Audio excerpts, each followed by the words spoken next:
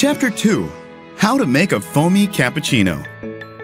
To make a cup, turn the machine on by pressing the power button. Wait for 40 seconds until the power button turns to green. We recommend putting 1 teaspoon of Nescafe Classic into the coffee chamber. Next, put 3 teaspoons of Nestle Coffee Mate into the cup. Then, turn the selection lever to the left side in the foaming jet position and wait for 2 jets of water to pour out.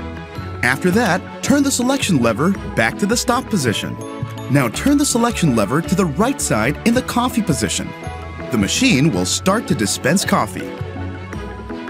You'll see a beautiful layering of coffee and creamer.